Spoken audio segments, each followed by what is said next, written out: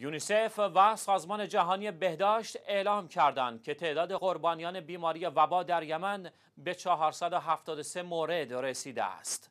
به نقل از سایت النشره صندوق کودکان سازمان ملل متحد یونیسف در بیانیه‌ای اعلام کرد که تعداد قربانیان بیماری وبا در یمن به 473 مورد و تعداد موارد ابتلا به این بیماری در 18 استان یمن به 52 هزار تن رسیده است.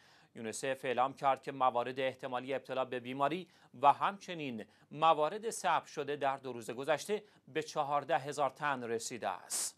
سازمان جهانی بهداشت نیز اعلام کرد تعداد افرادی که در یمن در پی ابتلا به وبا جان خود را از دست داده اند دست کم به 471 تن افزایش یافته است.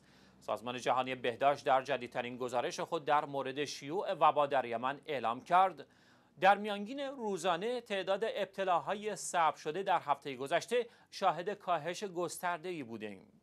این سازمان اعلام کرد که تعداد کل موارد مشکوک به ابتلا به وبا به 51032 مورد رسیده است.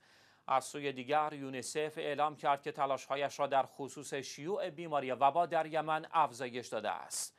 در همین حال لوعی شبانه مدیر یونیسف در امور ساکنان مناطق عربی اعلام کرد شیوع وبا در یمن جان یک میلیون و یکصد هزار زن باردار که از سوء تغذیه رنج می‌برند و به مراقبت فوری و خدمات بهداشتی درمانی نیازمند هستند را تهدید می کند.